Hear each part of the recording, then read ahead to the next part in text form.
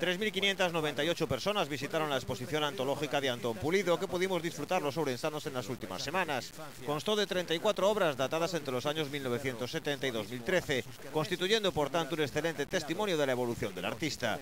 De este modo se realizó un cuidado recorrido por los comienzos figurativos y expresionistas de su primera etapa, que fueron dejando paso a medida que transcurrían los años, a una abstracción que acabó por impregnar la completa producción de Pulido.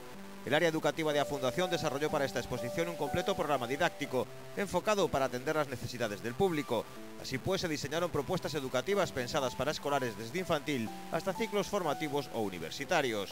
Un total de 749 personas tomaron parte en este programa didáctico diseñado con motivo de la muestra.